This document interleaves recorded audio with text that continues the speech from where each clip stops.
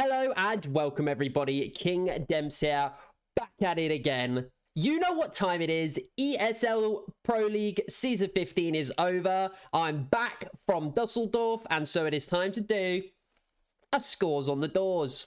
Uh, if you don't know the drill by now, guys, go and check out the other scores on the doors videos. Uh, those of you who are loyal and true fans, let's get into it.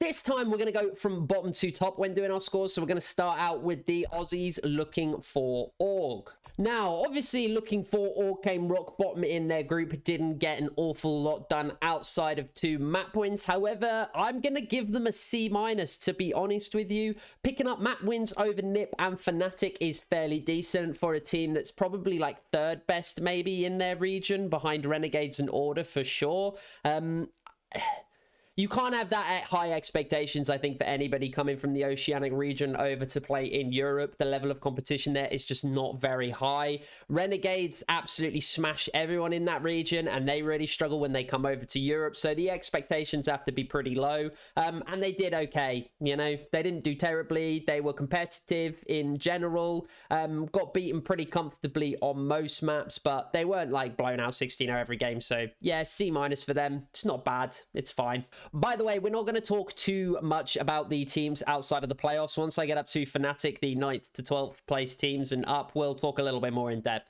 Next up is Sprout, and I'll be honest, being in the group of death is pretty rough for them. Uh, again, the expectations probably weren't that high coming into things. If they'd been in a weaker group, maybe there was a series that they could take, but honestly, having seen what we saw in the playoffs, it's obviously pretty apparent that all of the teams in Group B were pretty good. So again, I'm going to give Sprout a C minus. They probably would have liked to have taken more than just two maps, but actually they were pretty competitive. A lot of the maps were a bit closer. So yeah, C minus. It's about in line with expectations. Maybe they would have hoped to get like one more map.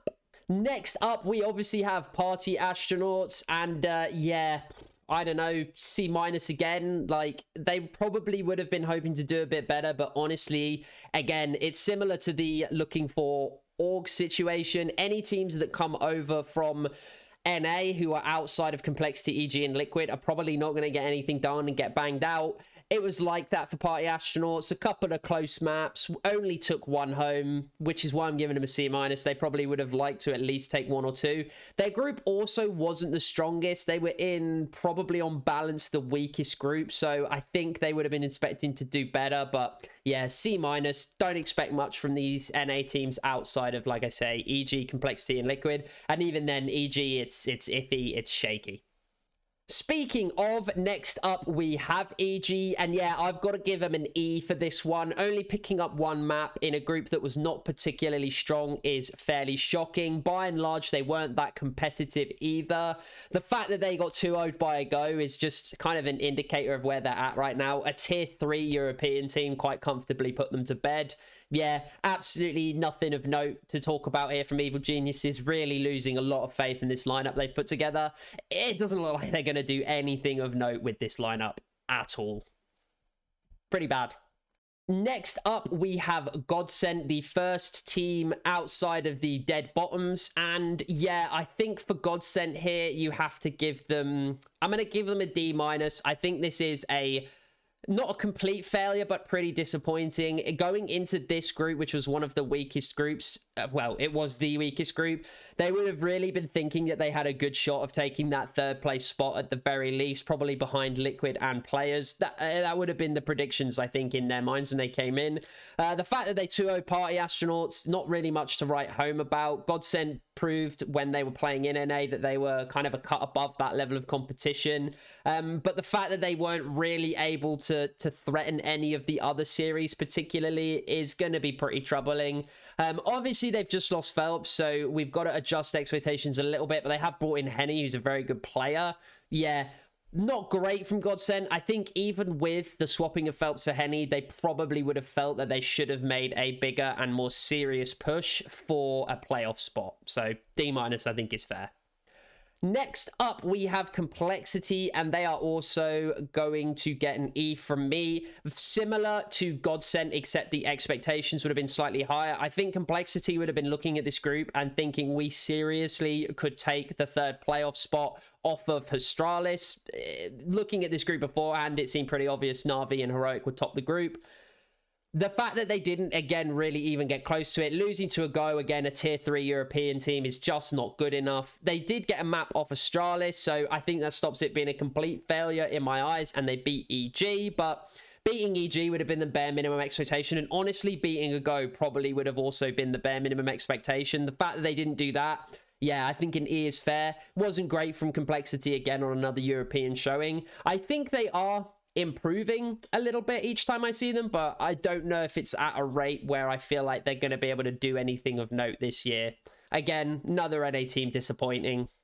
Yeah, Next up, we have G2, and they barely, barely, barely scrape not getting an F. am uh, going to give them an E minus because, yes, they did have Alexi missing, but despite that, with the group they had that featured Fnatic and looking for Org, they should have automatically been finishing in fourth, even with Alexi missing. The fact that they dropped the series to MOUZ 2-0 is, is incredibly disappointing. They weren't really even close in that one. And also the fact that they lost to Fnatic with Peppzor and Banjo, yeah, just really not good enough. Super disappointing from G2. They do do this from time to time um, with this core. It, it's kind of a, a trademark of this core to be honest. To just they pick a tournament they go missing. They pick a series they go missing. They pick a half they collapse. It just happens with this g2 core. They'll just randomly collapse at a certain point. Um yeah just kind of crap. Not good Next up is Outsiders, and I'm gonna give them a D plus. Um, obviously, there are external circumstances affecting Outsiders at the moment with the situation going on in Ukraine and the CIS region in general. So I do give a little bit of leeway to those CIS teams when I'm thinking about and discussing their performance. However, I think they would have hoped to be a little bit more competitive in this group. 2-1 against Sprout is not great. Dropping a map to Sprout, they probably would be expecting to 2-0 that series, but eh. And I also think with the form Vitality are in, Vitality are there for the taking, but I don't know. It's I think that's the most disappointing thing, and that's what makes me give Outsiders the score I'm giving them is they could have actually made some sort of challenge for that final spot in the playoffs if they'd have beaten Vitality. And the fact that they kind of just went down with a bit of a whimper, especially a Vitality team I think are there for the taking and had nothing to play for, that's really disappointing. And that's basically what gets them the score that I've given them. Next up, obviously, we have MOUZ. Now, I think the key series here was obviously that loss to Fnatic. That one is really, really disappointing and not good enough. They should have been beating a team with Peppzor and Banjo.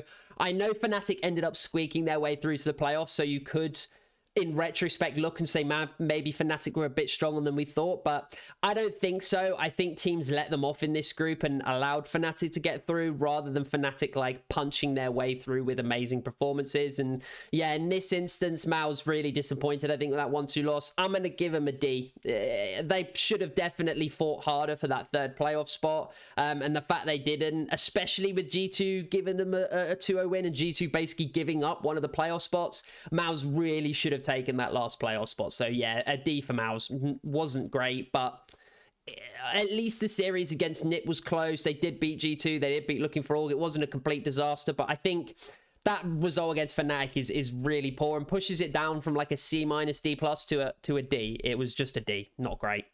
Next up is Vitality, and honestly, by the high standards that Vitality are having for themselves, this was pretty poor pretty comfortably put to bed by ENCE and FaZe. And then the Furious series was relatively close, which is why I'm going to give them a C. No, a D plus. C minus would suggest they just slipped under expectations, which I don't think they did. I think even if they had beaten Furia, it still would have put them in like a real battle, whether they would have actually gotten the third playoff spot or not. Whereas I think even in the group of death, this Vitality team based sheerly on expectation and the quality of roster that they supposedly have, they should be taking one of the top two spots in this group. I'm going to give them a D plus. It wasn't like terrible. They were competitive in that Furious series. They took down Outsiders and Sprouts, so it, it wasn't as if they were miles away from qualification, but when you've got ZywOo on your team, when you've got multiple major winners on your team, when you put together this team under the fanfare of we're gonna win a major,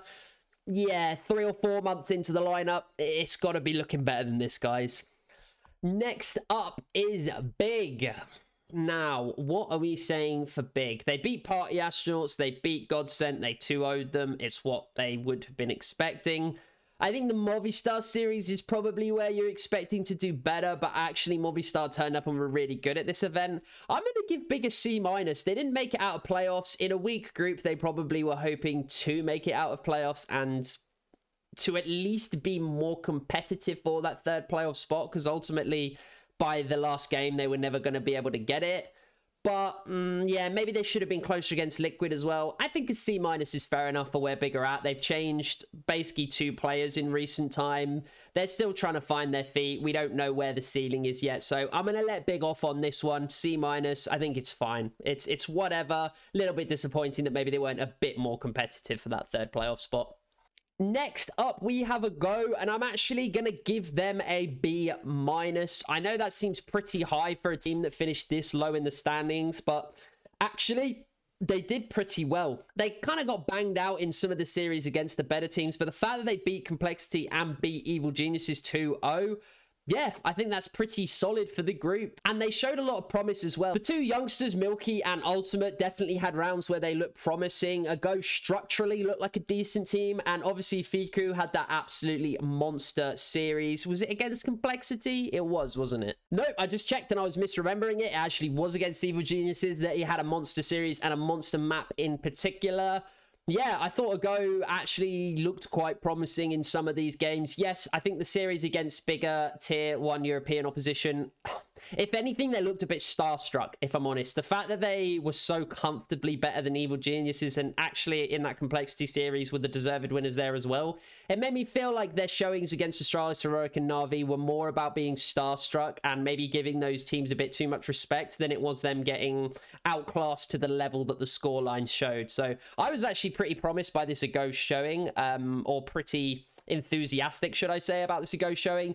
Whether they'll actually carry it on and do anything else, judging by the results that they've kind of had in and around tier two and three, I don't know. But yeah, this was pretty good. I'm I'm gonna give them a B minus. I thought it was it was pretty solid especially considering the expectations. Remember, uh, these scores are based as well on the expectations coming in, and I expected AGO to probably be bottom of this group with Evil Geniuses. So the fact that they weren't, the fact that they comfortably beat the two NA teams, not bad. Now we have some more interesting and in-depth things to talk about. Fnatic, I am giving a B plus with the lineup that they walked into this ESL Pro League with Peppzor and Banjo. They probably should have only been above looking for Org in their group based on pre-group expectations. Obviously, they are still moving forward with Peppzor in the lineup.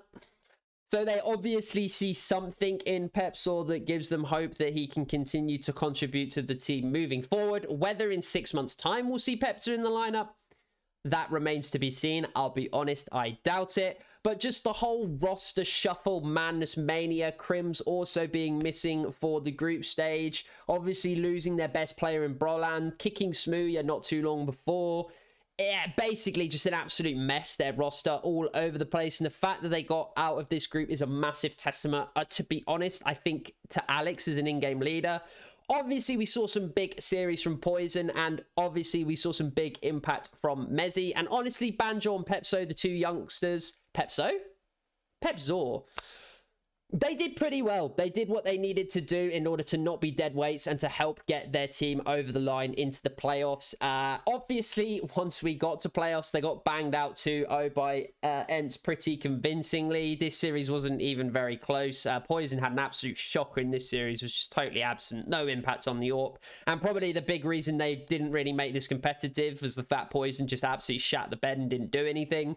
Um, so yeah, getting to playoffs was an absolute humongous overachievement, and anything more than that would have been like out of this world for Fnatic with the state that they're in. So yeah, they get positive marks, good marks for even making it out of the group. That was a massive achievement in of itself for this Fnatic team. Moving forwards, I don't know how I feel about this Fnatic lineup exactly. I still feel like Peppzor no offense to the guy, but I'm not sure that he's good enough for tier one. And I think you probably have to be looking to replace Peppzor with somebody if this lineup is going to be competitive at a top 15, let's say, mark. Maybe they can be a top 20 team with Peppzor, but I think if they want to push into top 15 and start threatening the top 10, probably this five man lineup isn't going to do it. Even if they did replace Peppzor, I'm not sure how the personalities and stuff are going to mesh on this lineup. At least poizon seems like a little bit more reserved of a guy. mezii seems a bit more reserved, but I, I don't know. With poizon's um, supposed motivation issues towards the ends of complexity, if this Fnatic lineup doesn't hit the ground running, I don't know. And Alex has clashed with people in the past. He clashed with MBK on Vitality. So, yeah, I'm not sure about this Fnatic lineup going forward, but this performance here was definitely a good one. Well done, Fnatic, for getting out of the groups. Oh, and also, just as a quick point, looking at the group, they didn't have a trash group either. NiP, Entropiq, MOUZ, and G2 are all competitive sides. Obviously, it turned out that G2 ended up shitting the bed a little bit, but yeah, not bad. Next up, we have Heroic, and I'm going to give them I think I have to give them a C minus. They did the business in groups that they needed to do. If we go down here, this was their group record. They 2-0'd the three teams you would expect them to 2-0. They 2-1 to the team you would probably expect them to have a closer series against, but win. And then they lost 2-0 to the team that you probably expected them to lose to. Maybe a little bit disappointed that they weren't more competitive with Na'Vi. And this Astralis series was so effing close. There was one very important clutch. I can't even remember who it was that performed the clutch, but there was, I think it was sjuush. There was a very important clutch from sjuush in this series, which basically turned it around when Astralis were, were on to win the series. So, yeah, it wasn't like the cleanest marching through the group stages that Heroic maybe would have liked, but it was fine and it was enough. Even if they lost this Astralis series, they still would have gone through, so not a big concern there. But come playoffs, they got spanked by not a tough playoff draw in the form of Liquid. They got spanked 2-0 really convincingly. Did not play up to their level from the group stages or the level that we know we can expect from Heroic at times.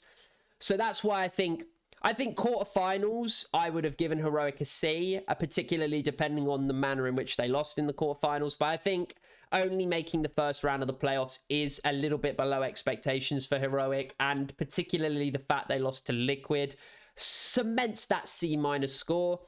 There is something wrong with this heroic team when it gets to important crunch games. They have repeatedly, ever since that last EPL win, shown an inability to win the important games, particularly on LAN. Ever since we've gone back to LANs, even without stadiums, they seemingly struggle in the important games. The pressure gets to them.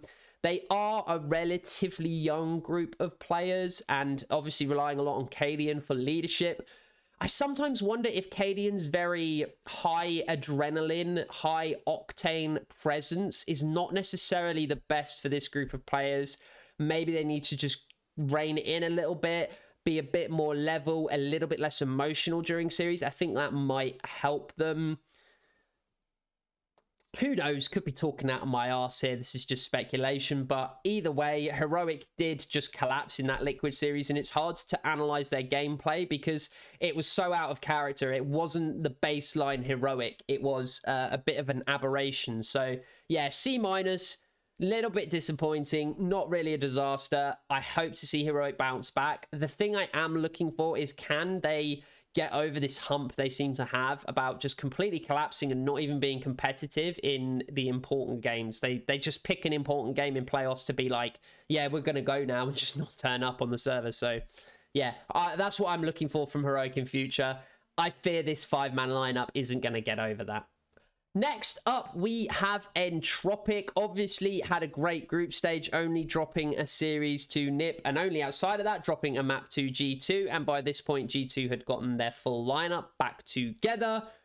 So it was a pretty good performance, all things considered, in the group stage from Heroic, uh, Entropiq. And a very, very, very close series to Astralis. I'm to give them a C plus because I think Entropiq actually played some really good CS and were very competitive. And maybe with a different playoff draw, they would have made it to the quarterfinals. C a general score of C, like the letter being C, says they about hit expectations. I'm giving them the plus because I think some of the CS they played was very good.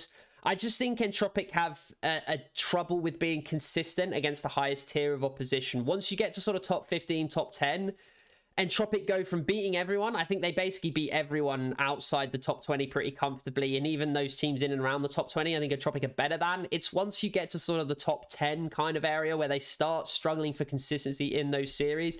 And I think a big portion of that is El1an. El1an is so key when they're smashing tier two teams. He farms stats against those guys. He really does struggle to have anywhere near the same level of impact against tier one opposition. I think he is the guy they need to figure out how to unlock him against tier one. And then Entropiq will kick on and step up and be, I think, an even bigger threat to go deeper in tournaments. So not bad from Entropiq at all. C plus for sure. Um, let's find a way of unlocking El1an and get him to bang out more regularly against the best tier of opposition. And that's when we'll start to see Entropiq, I think, uh, improving and maybe even pressing to be like a top five team because they really do, I think, have the pieces and they're so consistent across the lineup. And I like the way play they play CS. And with Hooch behind you, anything is possible. Oh, the other thing I want to say is it does occasionally look like they suffer from a vacuum in, in leadership in game in, in very close series. I think they Nickelback is their IGL. I don't think he is an IGL anywhere near the level of like a karrigan or a top IGL in the scene. I think he's there to fulfill the role because nobody else will do it.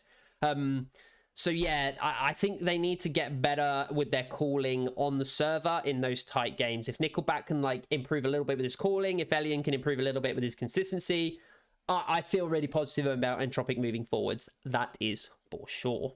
We have in our final 9th to 12th position, we have players who obviously kind of cruised through the group, no problems. They had a very weak group, lost to Movistar, but Movistar were obviously the outlying performers of the group, went 5 0.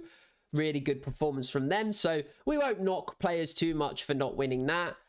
Come playoffs, players had an absolute shit draw. They had by far the hardest side of the bracket, and they had by far the hardest opening playoff game against FaZe.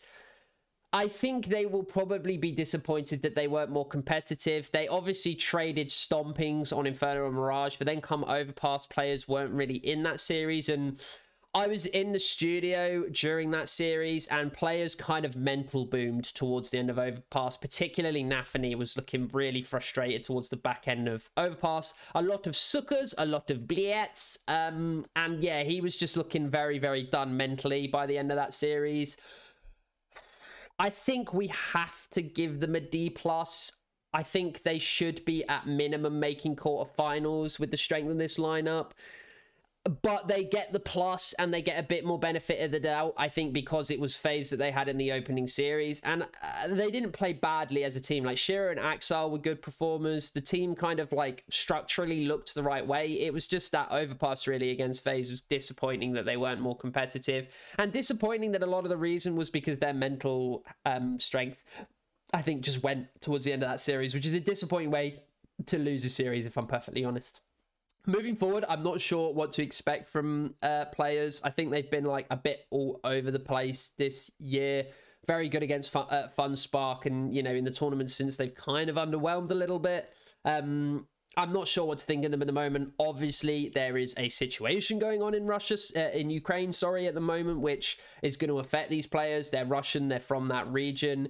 There's going to be some weirdness happening behind the scenes. Um, and the fact that they're not allowed to play for their org again is is going to affect them. So D plus, I could give them a C minus and give them the benefit of the doubt, but I think for me a C score is like you've at the very least met that met. You've at the very least met that bare minimum expectation. I don't think players met that bare minimum expectation. And then the plus is because the circumstances they did it in, it was somewhat understandable. Now we're getting into the 8th to 5th to 5th to 8th, however you want to say it, region. And this is where teams are going to start getting some more positive scores in general from me because these are the good performers. These are the quarter finalists. And obviously we're kicking off with Liquid. Liquid are getting a B plus from me. I think they performed very, very well in the ESL Pro League. Yes, they probably had the weakest group. They got the business done that they needed to. That players series, it was irrelevant. It was by the back end of the groups where they'd already secured themselves a place in the next stage, realistically. So, um, yeah, they 2 0'd the teams they were supposed to 2 0. They lost to the teams that maybe they were supposed to lose to in the manner that you would expect. Movistar closer, 1 to 2, got a map. Players, not so close. Got 2 0'd, got banged out pretty convincingly. Come playoffs, obviously a lot of credit to Liquid for 2-0ing Heroic comfortably in the way they did. Yes, Heroic did not play up to their best standard, but Liquid had to be on point to punish it as well as they did, and they really did. It was a very comfortable series, so all credit to Liquid. And then this NIP series was very, very, very close. I think OC underwhelmed a little bit in this series. Understandable. He's a new player, hasn't played huge amounts of tier 1 LAN, so especially not in Europe. I think if OC is a little bit more impactful and a little bit better overall in this series, then honestly, it could have really gone either way. The fact that they ran NiP so close, I think, is a positive for Liquid. And yeah, just in general, I think they exceeded expectations by making the quarterfinals. Honestly, Liquid haven't had the best start to the year, but they seem to be growing into things and improving a lot at the moment. So I'm actually quite optimistic about Liquid moving forward. I really was not sold on any of the NA teams at the start of this year, and they kind of were just proving my point um, at the start of the year. All of them were performing pretty doo doo. But now I'm actually feeling a bit better, uh, even about complexity, to be honest, but definitely liquid. I'm feeling a lot better about liquid. So yeah, B plus for this one. I think this was a solid showing and a decent run, and I'm looking forward to see more of them going forwards. I think they were uh, looking pretty decent. The one thing with Liquid, I would like them, particularly on their CT side, they play too standard. They get caught in this trap of playing like absolute textbook CS, and in a meta of gamble stacks, I think in a meta where some of these maps are, you could put up really huge CT halves if you're willing to take a few risks. I think Liquid need to embrace that a little bit more. I think they need to get out of their comfort zone of playing absolute textbook CS every time. I know that you might think, oh, textbook CS, that, that's the way you're supposed to play, isn't it? I think even players, a Gambit, are now starting to show there are, I think, limits on your team if you play too textbook. You need to be willing to take risks at the right moments. You need to be willing to rotate quickly in certain situations. Liquid are so slow at rotating on CT side sometimes and also just stack a site sometimes. In, if you're in a disadvantaged situation, stack a site. You, you can't split, you know, 2-2 in a 5v4 all the time and expect to convert many of those rounds. You have to take some risks sometimes, and Liquid don't seem willing to do that, and I think that's what would elevate them. If they just every now and then took a, a little bit more risks, I think they'd I think they'd be a better team. I really, really do. Next up, we have Astralis. Uh, Astralis, I think they get a B, a B.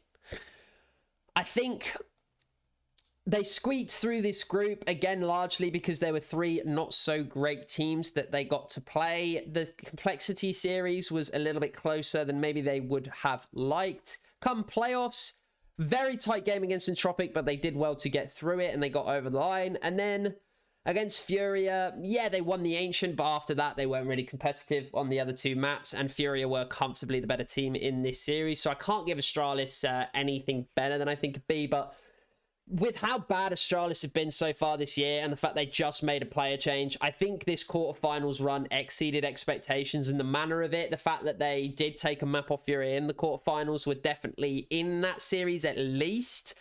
Yeah, I think it's a good performance. I think I'm excited to see how Astralis move forward with Farlig in the lineup. He seems like a great kid with a good head on his shoulders. I just don't want Astralis to fall in this trap that I think they have done pretty much ever since dev1ce left of they kind of leave the fourth player out to dry and don't give him any chance to have any impact. I think Zip and gla1ve need to be the absolute supportive element of the core and need to just be willing to give up stats completely in order to help the others shine. And Farlig should probably at least be that middleman behind BlameF and k0nfig. They're not really getting him the AWP on T side a lot, whether that's his fault, like he said in, in, in an interview he did with me, or not.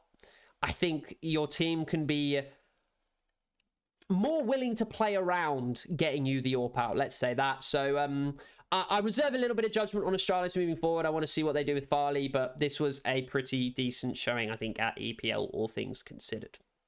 Uh, a fifth to eighth again for Movistar. I think we got to give them a B. They exceeded expectations by kind of bombing through the group. All of the series were actually they never really blew anyone out in any series, but they did win them all, which is is important. Like if you look at the top teams, they had the worst round difference, and they had a worse round difference than players and Liquid, who finished below them in the group, which shows you how close in general the Movistar series were. But they were getting over the line, and then they skipped straight through to the quarterfinal. Uh, I think. This is, is really disappointing. Yes, there were some close rounds on this Vertigo and Nuke. The 16-2 and 16-5 scores are probably a little bit generous towards ENCE, particularly on Vertigo. Um, Hades and dycha had some huge clutches, like some 2v4s, 2v3s that really pulled ENCE through. Uh, and then same on Nuke, there were a few rounds that could have gone either way to make the scorelines a little bit closer. Either way, I do think they were confident and comfortable maps for ENCE. So, yeah, I think they'll be disappointed with their quarterfinals performance, but I think just the way that they kind of comfortably put their group to bed and a B minus is probably fairer. I think the fact that they weren't all that close in this quarterfinal did take a map at least. So yeah, B minus. They ex- exceeded expectation. They, I think, reminded people that they're not like a, a, a foregone conclusion to just bomb out of groups and stuff. Like this team has shown some promise at various points. IEM Fall, for example, last year. I'm not sure if Movistar are ever gonna quite be enough to be like a really consistent top 15 team. I think they're probably a roster move away. dav1g and DeathZz kind of do just drag the team down on certain maps and in certain situations. So maybe one of them might need to go. I don't know though. Maybe they can still improve this five man lineup. I'll leave it to them to figure it out. But yeah, not bad performance at all in this tournament. I'm going to give them a B minus. And the final fifth to eighth team, Na'Vi, they obviously did exactly what they needed to do in groups, only dropped a map to Astralis, generally looked comfortable and much better than any team they've faced in all of those series. And then they got pretty comfortably put to bed 2-0 by FaZe. FaZe are probably the best team in the world right now. I think it's pretty hard to argue against that. So with that context in mind, I think we can give Na'Vi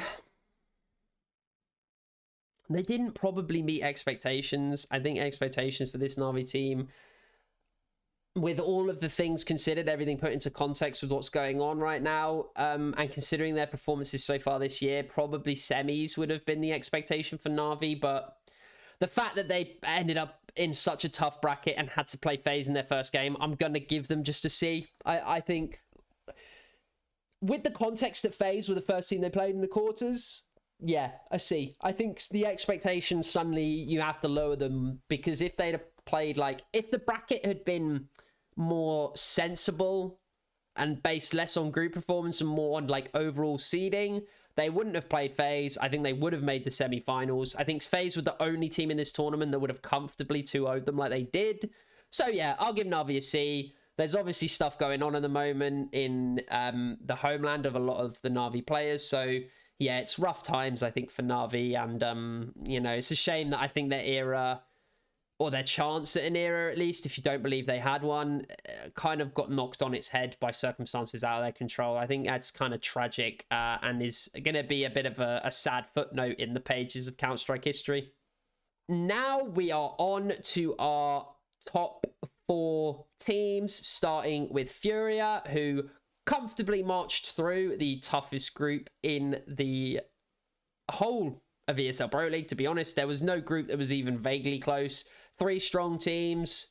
Yeah, this group, most people would have only said players with a really strong team in it. A couple of strong teams, a couple of like decent teams. So yeah, they had by far the um the strongest group. Like basically, I think before this, everyone would have said all five of these teams were like decent to strong. Only Sprout were the only ones really who were like bottom feeders of the group. Uh, and then Furia comfortably put Astralis to bed. So I think Furia definitely um, made a case for being a strong team this year. I'm going to give them a B plus. I think they exceeded expectations. I think if they'd have been a little bit, they were quite close in that FaZe series. I'm remembering that FaZe series as not being as close as it actually was. But the thing is, I think the score lines are a little bit misleading because on both maps, FaZe, once they settled into it, went on mad streaks to end the map. Like they went on some crazy streak on CT to end Inferno, and they won like 11 of the last 14 rounds on Mirage. So once FaZe got going in these series, they never actually looked like losing them. I feel like the score lines are a, just a little bit generous to Furia, just a little bit, not a whole lot, but but so yeah, I'm gonna stick with B plus, almost squeaking an A minus from me, but it was a good performance from Furia, and if they can keep improving with saffee and drop in the lineup, then Furia could definitely be a dangerous team for sure come the major. So keep an eye on these boys. But yeah, I think I think a B plus is probably fair. It's probably fair. Obviously, the other team we have is NiP. They're just getting an A minus. Um, with Fuzi in the lineup, this NiP team should be nowhere. They should be trash. Even with Rez performing much better this year, he's having a really good year um, compared to to like previous years overall. Um, obviously, a bit disappointing in this semi final, but ENCE were like reasonably comfortable in this one. Um, as you can see, Rez was massive against Liquid, and like some of the group stage, Rez was huge. So yeah, I think A minus is fair enough. Just with Fuzi in the lineup, like Fuzi is not good with the AWP. He actually often looks better on rifles for NiP, like which is bizarre when he's been brought in to replace dev1ce and be an AWPer. Um, so yeah, I think uh, NiP have performed like really, really admirably with with Fuzi in the lineup. I think they've gone far above and beyond expectations. Um, now that they've got Brollan moving forward, obviously a better player than Fuzi, but they are basically going to a point where they're going to have to give the AWPers like a secondary to tag probably because I don't think you want to give it to Rez. I think you want to let Rez rifle. I don't think you can give it to Hampus with the role he has on the team. So we're going to have to look at tag secondary. I don't know. I don't think it can be a downgrade on Fuzi, even if Tag only picks it up like every now and then just to give them that option. So, yeah, I think Nip will be good going forward with Brollan. Um, where the ceiling is, hard to say, particularly considering, like I say, they don't have a primary and AWPing is very important in this meta. So, yeah, hard to say, but definitely a good performance here. They're getting an A minus from me. Well done, Ninjas in Pajamas. Pajamas? Eh? You know what I mean, guys. Good job, Nip. Obviously, that means we have to finish on the top two, with the first being ENCE. ENCE are getting an A+. plus. Absolutely stellar run through this tournament. The playoffs, they were comfortable in every single series, obviously except this grand final. They were pretty confident and comfortable in the group. They actually beat FaZe in the group, who are the best team in the world right now. You know, they obviously put to bed everyone pretty comfortably except Furia, but they were close in that series. So, yeah, just an amazing performance from ENCE they really are starting to grow into a team that looks really, really dangerous. I don't think Snappi was lying when he said to me in an interview that they have at least four players that can top the scoreboard. And even Snappi just every now and then randomly goes ham. In this Nuke game against Movistar Riders, for example, he absolutely, and just uh, he had a 1.27 for the series. Like, they're so dangerous. Hades had a really, really good grand final, as did maden. I think Snap uh, Spinx, sorry, disappointing in this grand final was the big thing that that meant it wasn't closer. Because if you look, FaZe kind of really were like comfortable-ish on the maps that they won. Um, I don't think it would have been any closer on the maps that that they'd won.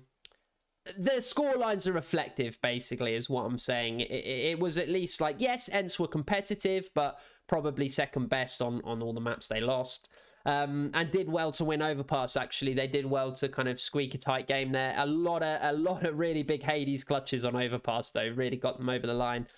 I'm just so impressed with this ENCE lineup. Snappi has done really well and has put together a lineup that legitimately at the moment is a top five lineup in the world. Um, I think if you put them against like anybody in a series, they're going to be at least competitive yeah, really excited for this ENCE lineup going forward. Um, and I think the only way is up for them right now. They've still got such a young and relatively inexperienced uh, tier one and particularly a LAN lineup. So yeah, they're aggressive. They're exciting to watch. They're dynamic. I love watching ENCE. I really hope they continue to do well, and I hope to continue seeing them go deep in tournaments because they just play interesting CS and they make for good games. So yeah, A plus friends, absolute banger performance. If they'd have won the tournament, 100% would have got a very rare S from me. And now we come to FaZe. I think FaZe get an A. They did exactly what they needed to do. They bombed through the hardest side of the bracket. They they did drop a map against players, but still comfortable in that series. So, and again, they dropped a map against FaZe uh, ENCE, but still comfortable in this series. The reason they don't get an A plus or an S is just because I think, unfortunately, the only really legit opposition they ended up facing They did face players in the opening round, which is a toughie, but as we said, players a bit all over the place at the moment. They did play Na'Vi and they did show that they are definitely the better team. But again, Na'Vi have the asterisks.